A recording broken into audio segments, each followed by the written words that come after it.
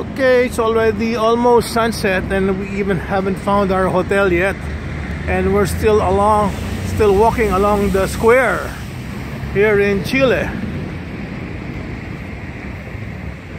Wow. Nice horse, huh?